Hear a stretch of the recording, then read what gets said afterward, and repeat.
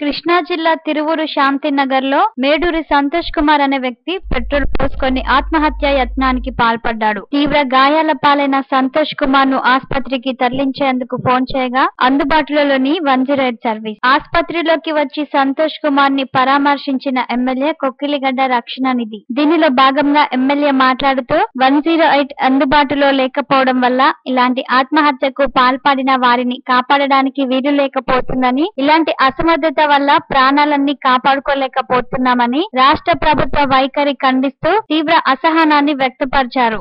ఎక్కడ కూడా డ్రైవర్ లేకపోవటం అంబులెన్స్ ఆయిల్ లేదంటాం మరి రెండు గంటల నుంచి కూడా వాళ్ళు ఫోన్ చేస్తూ ఉంటే ఎక్కడ కూడా కనీసం కాల్ చేసి పరిస్థితి కూడా ఎవరైనా ఇవ్వట్లేదు ఈ యొక్క నూట ఎనిమిది పరిస్థితి ఆ రకంగా తయారైంది. మరి ఇదే విజయవాడ తీసుకెళ్ళాలంటే కనీసం నాలుగు ఐదు వేలు అడుగుతున్నారు ప్రైవేట్ యొక్క అంబులెన్స్ పేదవాళ్ళు ఎక్కడ మరి పెట్టుకునే పరిస్థితి.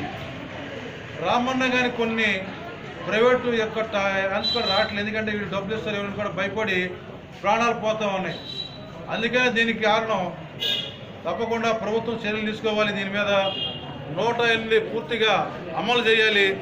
వాళ్ళకి కావాల్సినటువంటి బకాయి అంటే రిలీజ్ చేస్తే వాళ్ళందరూ కూడా నిధుల్లో పనిచేస్తారని కూడా మరి ఈ యొక్క ప్రభుత్వాన్ని డిమాండ్ చేస్తూ ఉన్నాం.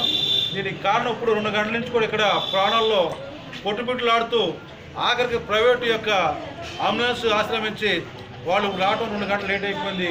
ఆ కుర్రోడు కూడా ప్రాణహాని. మరి పరిస్థితులు పరిస్థితి దక్కే పరిస్థితి కనపడి అక్కడ కూడా. అదే ప్రజల ఆరోగ్యం కానీ మరి మంది హాస్పిటల్కి వెళ్ళినప్పుడు డాక్టర్లు అందరూ కూడా ఒకటే చెప్తున్నారు.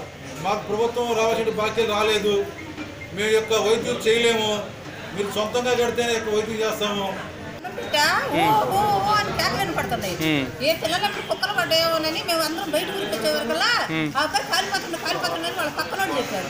పక్కనోడు చేస్తే మేము అందరం ఊరికేమో ఒక అతను పాపం కొద్ది ధైర్యం గలవాడు వెళ్ళి దుప్పటి తీసుకుని ఎట్లా మాటలు ఆరిపోయాడు. పడ- ఆ అబ్బాయి పడిపోయాడు. అంతా కాలిపోయింది. ఎంత ఎంతసేపు ఈ సంఘటన జరిగి? రెండు గంటల పైన రెండు గంటల మీరు అంబులెన్స్ ఫోన్ చేయలేదా? అంబులెన్స్కి మా మగవాళ్ళు అందరూ చేస్తూనే ఉన్నారు. మేము ఇసురుపేటలో ఉన్నాం ఇసురుపేట నుంచి వచ్చారు కూడా ఆలస్యం అయితే అని అన్నారు సరైన స్పందన లేదు. అంతేనా ఇసురుపేటలో ఉన్నా అన్నారు